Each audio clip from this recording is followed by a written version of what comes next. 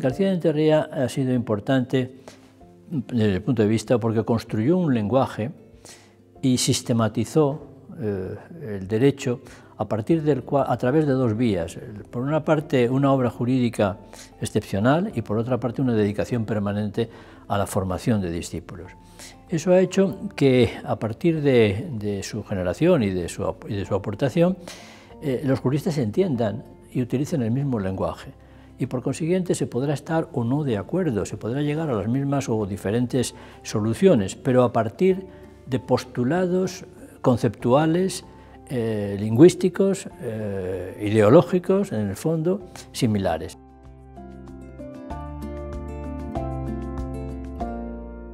El derecho público ha sido siempre el lenguaje del poder y el, lenguaje del poder se plasma en las cosas que vienen de arriba abajo y que, se traducen en términos normativos en la idea de la sanción, la autotutela, la, imposición, el acto administrativo, la expropiación forzosa. Enterría acepta eso, acepta que debe haber una administración potente y servicial porque gran parte de nuestros derechos y de nuestras libertades solo son posibles si hay una, una, administración fuerte. Ese es el lenguaje del poder, pero él le añade luego la lengua de los derechos.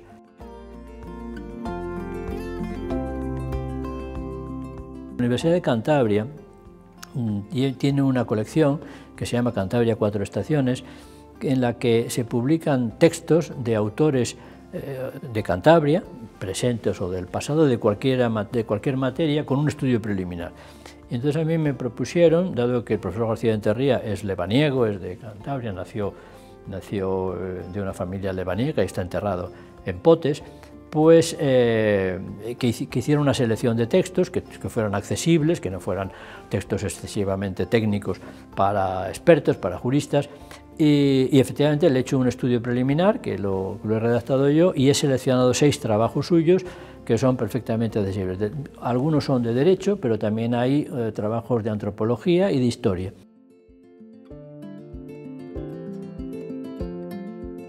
Se trata de crear una escuela que se va a llamar justamente Escuela de Derecho Público de García de Enterría, como eh, lugar o foro de encuentro de debates intelectuales sobre los grandes temas del momento. Coger experiencias del pasado para, mirar o encarar el futuro sin, pretensiones de, ser eh, categórico en nada, sino generando ese debate intelectual que muchas veces falta porque funciona simplemente la improvisación, ¿no? Bueno, pues se trata de no improvisar. ¿eh? Ese es el sentido de una, de, una escuela, no tanto un, curso de acumulativo de ponencias, sino un lugar de debate y discusión sin más, sin ninguna pretensión, pero sabiendo un poco que, que estás en un contexto, es decir, y que, y que, esto, y que los mismos problemas que, que, tenemos aquí se tienen en otros sitios. Bueno, pues ¿qué se ¿cómo se ha afrontado en, esos otros sitios? Sin pretensiones de imponer nada, pero también sin pretensiones de, inferioridad. Lo ideal sería que fuera dirigido a jóvenes profesores, es decir, a personas que se están formando en este momento, que en el día de mañana van a ser, esos profesores para engarzar esa cadena de, esa cadena de conocimiento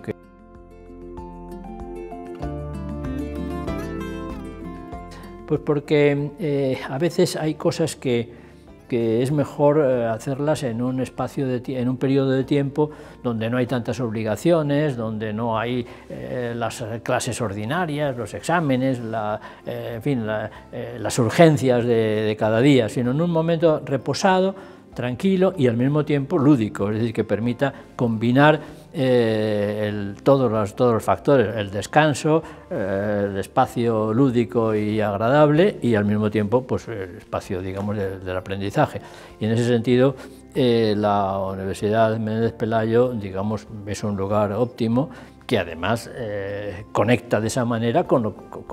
las razones fundacionales que tuvo en su momento, en los años 30, hace 90 años, justamente para mezclar allí, eh, pues desde químicos hasta poetas, pasando por pensadores.